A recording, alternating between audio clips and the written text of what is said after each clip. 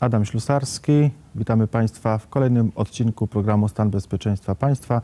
Naszym gościem jest pan dr Andrzej Zapałowski z Polskiego Towarzystwa Geopolitycznego. Witam serdecznie. Witam serdecznie. Dzień dobry.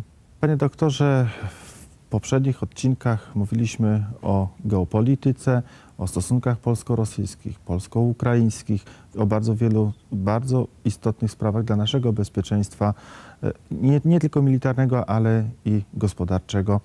E, Myślę, że trzeba również porozmawiać o Syrii. E, Wielu z nas, obserwując konflikt w Syrii, tak naprawdę nie rozumie, o co w nim chodzi. Jak pan widzi tutaj grę interesów? Proszę zwrócić uwagę, yy, wiosna arabska to Tunezja, to Libia, to Egipt i miała być Syria.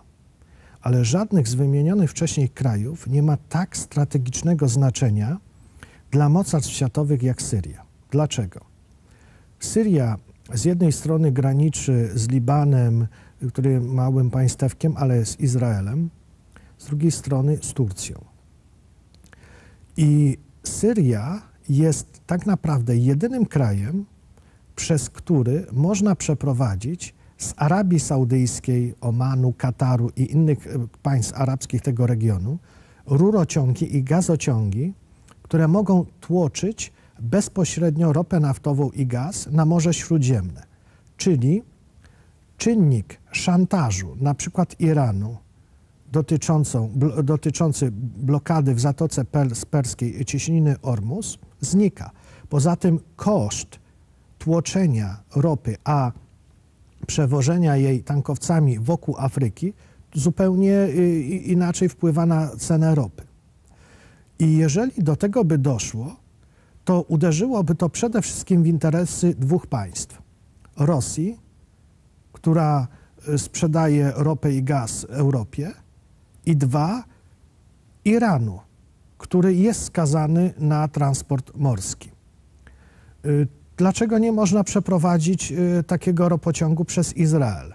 No bo Izraela za państwo nie, uznaje, nie uznają prawie wszystkie kraje Bliskiego Wschodu poza Turcją i Egiptem.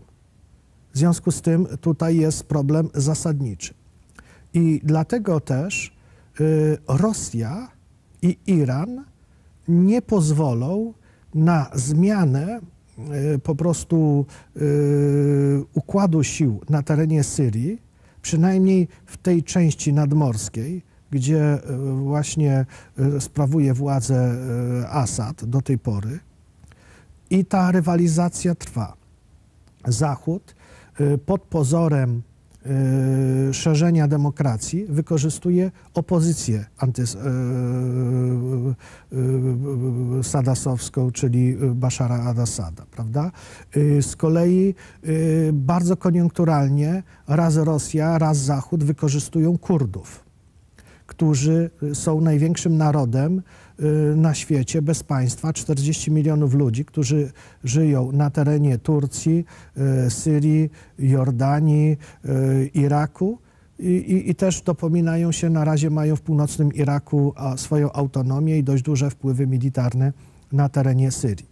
Trzeba sobie powiedzieć jasno, Syria już nie będzie państwem jaka, takim, jaka była przed wojną, ale Syria będzie podzielona, ale właśnie wojna toczy się, jak będzie podzielona, kto będzie miał gdzie wpływy. I jak pociągnąć ten rurociąg? Tak. I ponieważ jeżeli Rosja z Iranem zablokują, no to nie da rady pociągnąć tego. Y, To, to jest naprawdę sprawa fundamentalna i tutaj Rosję y, i Iran wspierają politycznie jeszcze Chińczycy, ponieważ y, Chińczykom nie zależy na tym, żeby Europa w rywalizacji gospodarczej miała tańsze surowce. Czyli y, to Chinom zależy również na tej ropie. Tak, tak, to jest po prostu, y, to jest na terenie Syrii skoncentrowano y, po prostu y, walka, walkę o, y, o interesy światowych mocarstw. I to około 400 tysięcy ofiar wśród głównie ludności cywilnej, które zginęły do tej pory od 2011 roku w Syrii, to są głównie ofiary rywalizacji światowych potęg o wpływy na tym obszarze. Panie doktorze, brzmi to no, znamy to skądś, z historii. Wiemy, że e, życie ludzkie na wojnie mało jest warte e, i tak samo obecnie się dzieje. E, no ale mówimy o tym, że jest wspólnota międzynarodowa, jest Organizacja Narodów Zjednoczonych. No przecież ci ludzie wiedzą, o co chodzi. Czy tak trudno porozumieć się w tej kwestii w jakiś sposób umowny? Ktoś trochę ustąpi, ktoś trochę straci. Różne można układanki y, stosować, y, kontyngenty tej ropy, tak aby się wszyscy jakoś dogadali. No bo jeśli do tego nie dojdzie, to można powiedzieć, że wojna w Syrii będzie się toczyć do ostatniego Syryjczyka i jeszcze dalej.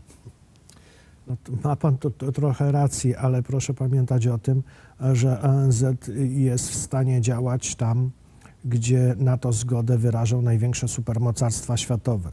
A tu mamy do czynienia z sytuacją, gdzie na tym skrawku kuli ziemskiej walczą światowe mocarstwa. Więc y, to jest y, tak, że jeżeli y, ośrodek siły taki jak Stany Zjednoczone, jak Rosja, Chiny czy nawet Iran, 80-milionowy, walczy gdzieś, no to trudno to zrobić. To jest tak, jakby zmusić Chiny dzisiaj do przestrzegania praw człowieka gdzieś tam w jakimś regionach Tybecie czy w innym. Czyli w Syrii mamy taki, do czynienia z takim typowym węzłem gordyjskim. Tak. Praktycznie nie do rozwiązania. Tak, to, to po prostu to musi być y, rozwiązanie, tylko dwa kraje y, muszą usiąść, czyli Rosja i Stany Zjednoczone i uzgodnić. Dopóki ostatecznie nie uzgodnią, dopóki jeden czy drugi kraj widzi możliwość, y, przepraszam za kolokwializm, ogrania drugiego, to ta wojna się będzie toczyć. Po prostu tutaj któreś z tych krajów musi być postawione na terenie Syrii po prostu pod ścianą. Syria, samo to państwo i Syryjczycy to jacy ludzie? No przede wszystkim y, były bardzo duże enklawy chrześcijan. Y, Chrześcijan, którzy tam mieszkali od 2000 lat.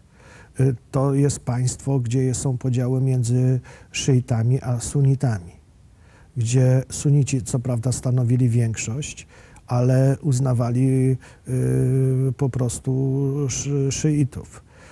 To wszystko zostało zdestabilizowane, odgrzano y, po prostu konflikty, które istnieją wewnątrz świata muzułmańskiego, czyli bardzo ostre podziały. Czyli można powiedzieć, że to nie jest wojna religijna, jak to niektórzy mówią, tylko tu owszem o wątek religijny, ale przede wszystkim tu chodzi o petrodolary. No. o petrodolary i proszę zwrócić uwagi, uwagę, że tutaj jeszcze na terenie e, Syrii e, rozbija się wojna e, wewnątrz też świata islamskiego, ponieważ Iran jako państwo szyickie wspiera szyitów, a znowu Arabia Saudyjska jako państwo sunnickie, która rywalizuje na tym obszarze, wspiera sunnitów. Zresztą państwo islamskie, które e, funkcjonuje, tak zwane państwo na części Syrii i Iraku, no jest wspierane też politycznie, e, które ma oblicze typowo sunnickie, jest wspierane przez prawdopodobnie no, petrodolary. Panie doktorze, dziękujemy za te bardzo cenne wyjaśnienia. Naszym gościem był pan doktor Andrzej Zapałowski. Jak widać, proszę państwa, czasami bardzo strategiczne złoża, czy to strategiczne położenie może być szansą. W przypadku Syrii widzimy, czym to się kończy. Dziękujemy za uwagę i zapraszamy na kolejne odcinki programu Stan Bezpieczeństwa Państwa.